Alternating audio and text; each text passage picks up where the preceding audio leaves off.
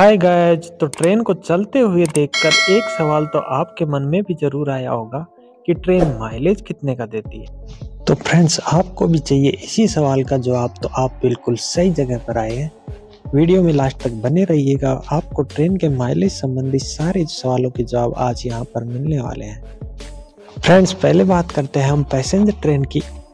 भारत में passenger train दो प्रकार की होती है एक्सप्रेस और लोकल तो पहले बात करते हैं हम एक्सप्रेस ट्रेन की। तो एक्सप्रेस ट्रेन 24 डिब्बों की होती है और उसे एक किलोमीटर चलने के लिए लगभग चार से साढ़े चार लीटर डीजल की आवश्यकता पड़ती है। वहीं लोकल एक्सप्रेस ट्रेन 12 डिब्बों की होती है और उसे एक किलोमीटर चलने के लिए छः से सात लीटर डीजल की आवश्यकता होती है। Friends, passenger local train express train से छोटी होते हुए भी माइलेज कम देती है। फ्रेंड्स ऐसा इसलिए होता है क्योंकि जो लोकल ट्रेन होती है, वो लगभग हर स्टेशन पे रुकते जाती है और उसका एक्सीटर और ब्रेक बार बार यूज़ होते हैं। इसकी वजह से ट्रेन का माइलेज कम निकल के आता है। जबकि जो एक्सप्रेस ट्रेन होती है, वो काफ़ी लंबी दूरी पर जा कर के स्टॉपेज होते हैं।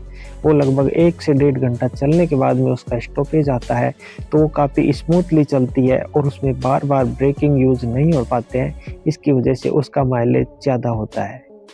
फ्रेंड्स बात करें गुड्स ट्रेन के माइलेज की तो उसका माइलेज उसके वेट पर निर्भर करता है। एक खाली गुड्स ट्रेन एक किलोमीटर चलने के लिए लगभग सात से आठ लीटर डीजल का यूज़ करती है। वहीं अगर उसमें लोड होने के बाद में वो लगभग 10 से 12 लीटर डीजल का यूज़ करती है। एक ट्रेन के इंजन में तीन तरीके के डीजल टैंक लगे होते हैं 5000 लीटर 6000 लीटर और साढ़े छः लीटर। फ्रेंड्स, मैं आपको बता दूँ कि एक बार टैंक फुल होने पर एक ट्रेन लगभग हज़ार किलोमीटर की दूरी तय कर सकती है। फ्रेंड्स, फ़िलहाल इस वीडियो में इतना ही। आपको हमारी जानकारी कैसी लगी? अगर अच्छी लगी हो तो वीडियो को लाइक करें, चैनल को सब्सक्राइब करें और दोस्तों के साथ में शेयर करें।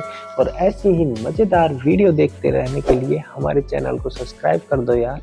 मिलते हैं किसी नेक्स्ट वीडियो में। तब तक के लिए जय हिंद, जय भारत, वंदे मातरम।